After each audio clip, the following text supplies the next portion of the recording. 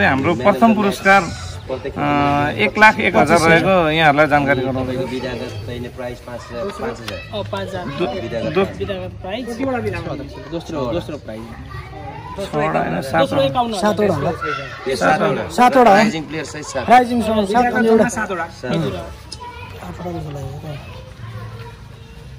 टिमहरू कुन कुन?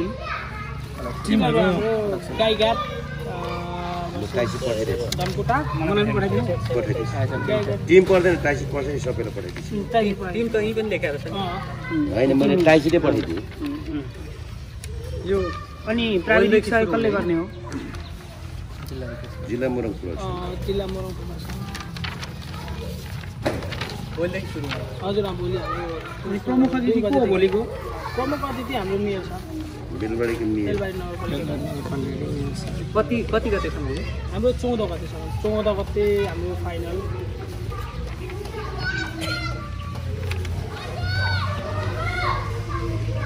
अनि तपाईँहरूको यो डाँगीहाट जागृति युवा क्लब भन्ने छ नि यो चाहिँ के? जिल्ला प्रशासनमा दर्ता हो कि अरू खेलकुद समितिसँग एफिलेटेड हो? फेरि जिल्ला प्रशासनमा हाम्रो दर्ता हो। दर्ता हाम्रो प्यानमा सबै कुरामा दर्ता भएको अब यो पहिलो खेप होला होइन? यो चाहिँ तपाईँको हाम्रो डाइघाटमा सोह्र सत्र वर्ष पछाडि पहिलो पहिलो गेम हामीले गाउँदैछौँ यसको अब प्रथम राशि एक लाख एक हजार छ सेकेन्ड तपाईँको अब एकाउन्न हजार छ। यसलाई चाहिँ हामीले अब कन्टिन्युटी वर्षै पछि दिने भन्ने हाम्रो एउटा जस्तै यो एउटा एउटा लक्ष्य हुन्छ नि त। यो गर्नका लागि हाम्रो- यो भन्ने हुन्छ। त्यसको लक्ष्य केही छ? हाम्रो यो गेमको एउटा उद्देश्य छ। जस्तै यो गेमको उद्देश्य चाहिँ हामीले यो गेम गराएर हामीले डाँगाघाट बजारभरि सबै बाटोलाई क्याप्चर गर्ने गरी तपाईँको सिसी क्यामेरा राखेर त्यो सिसी क्यामेराको त्यो कन्ट्रोलर हामीले डाँगाघाट चौकीलाई हस्तान्तरण गर्ने भन्ने एउटा हाम्रो यसको उद्देश्य पनि छ। दस मिनट।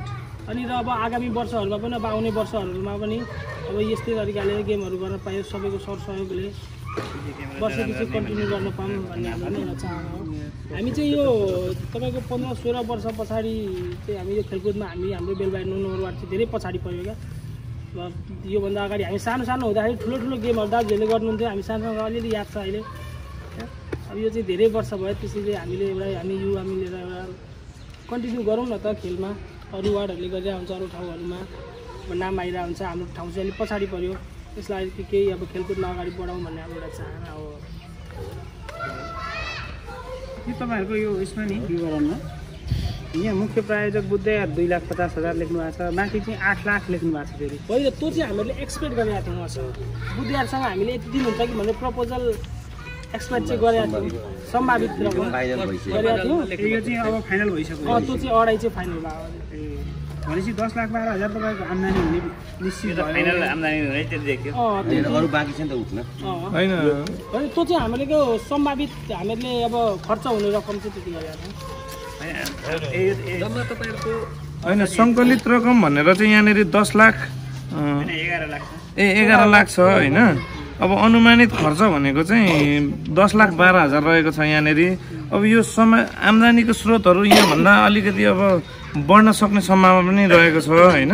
अनि यो खर्चको कुरो चाहिँ यहाँभन्दा थोरै बढ्न पनि सक्ने सम्भावना हामीले देखेको छौँ। किनभने यो चाहिँ हामीले हिजो पर्व उ गर्दै गर्दाखेरि धेरै कुराहरू पहिलो प्रथम पटक भएको हुनाले शीर्षक कुराहरूमा यो यो कुराहरूमा खर्च हुने भन्ने कुराहरू हामीलाई स्पष्ट रूपमा जानकारी नभएका हुँदाखेरि हामीले जानेसम्म गरेका छौँ। यसमा थोरै बढ्न सक्ने आम्दानी पनि बढ्न सक्ने सम्भावना छ र हाम्रो खर्च पनि अलिकति बढ्न सक्ने सम्भावना हुनसक्छ।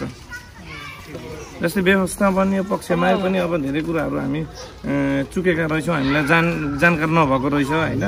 त्यसले गर्दाखेरि गर्दै जाँदा धेरै कुराहरू अनुभव भयो सिकियो। अब यो सत्र वर्ष पश्चात यहाँ डाङ्गीहाटमा पहिलोचोटि गर्न लागेको हुँदाखेरि सबै कुराहरू हामीले पनि परिपक्वता नभएको जस्तो सानो यसलाई पनि हामीले धेरै मर्मत गर्यौँ यो पनि अब तपाईँको सबै बिग्रिएको थियो। सोह्र सत्र वर्ष गेम हुँदाखेरि अब कति अब सबै कुराहरू बिग्रिएको थियो। यसलाई माटो हाल्यो पानी पटाइयो होइन हरेक कुरा रोलर लगाइयो मर्मत गरियो यसलाई। अब यतिको नाइन साइजको त्यो ठिक छ अहिले। पहिलाको भन्दा खेल गतिविधि स- हुन्जेलसम्ममा तपाईँहरूको प्रत्यक्ष निगरानीमा यहाँको भएको प्रगति यहाँको वस्तुस्थिति र यहाँको बारेमा तपाईँले जानकारी गराउनु पनि म अनुरोध गर्छु। र जुन यो हाम्रो डाङ्गा जागृति युवा क्लब चाहिँ अलिकति यो पहिलोचोटि हाम्रो युवा भाइहरूले चाहिँ खेल आयोजना गर्दै हुन्छ उहाँहरूले गर्न नसकेका कामहरू त्रुटि त्रुटिहरू र उहाँहरूले निरन्तर सिक्दै जाने कुरामा पनि उहाँहरू ढुक्क हुनुहुन्छ र उहाँहरूलाई कमी कमजोरलाई तपाईँहरूले औँल्याइदिएर हामी सामाजिक रूपले पनि हामी उहाँहरूका कमी कमजोर औँल्याइदिँदै जान्छौँ। र उहाँहरूले आगामी दिनहरूमा अझ अनुभवी र अझै सक्षम तरिका अन्य गेमहरू पनि गर्न सक्नुहुनेछ भन्ने मैले ठानेको छु। र सबैको सल्लाह सुझावले यो डाङ्गिया जागृति युवा क्लब अगाडि बढ्नेछ। यो सबैको साझा क्लब हो।